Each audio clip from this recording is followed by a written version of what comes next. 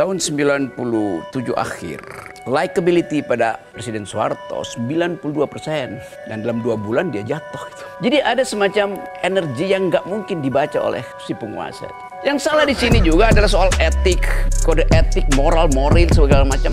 Jokowi disebut melanggar etik sebetulnya karena memanfaatkan kekuasaannya untuk menerima tawaran dari seseorang yang adalah bawahannya. Kan kalau disebut Mahkamah Konstitusi atasnya saya presiden yang mampu mengatur ketua Mahkamah Konstitusi cuma presiden. Ya. Jadi di dalam relasi moral itu si ketua Mahkamah Konstitusi itu diperalat oleh kekuasaan maka di situ kita sebut moral presiden buruk. Tapi kan ini jalan terus. Ya justru Tapi kan itu ini jalan, jalan, terus, itu kan? artinya dari awal ya memang udah begitu. Dia nggak mau dengar, dia nggak mau uh, cuti segala. Memang dari awal dia tahu ya gue kuasa mau ngapain loh. Kalau- nah sekarang misalnya kenapa masyarakat nggak protes? 80% dari pemilih Indonesia itu lulus kelas 7, tidak lulus SMP artinya bagi dia beras itu BLT itu lebih berguna Penting. dari debat panggung demokrasi itu. Nah karena itu Jokowi juga tahu itu. Mending pelihara orang miskin supaya mu- mudah di mu- Ya. mudah diarah-arahkan. Mending ciptakan kedunguan supaya mudah dimanipulasi. Jadi secara moral Jokowi ini melanggar dua tugas konstitusi. Satu, pelihara fakir miskin. Dua, cerdaskan kehidupan bangsa. Dua-duanya itu dia tidak lakukan.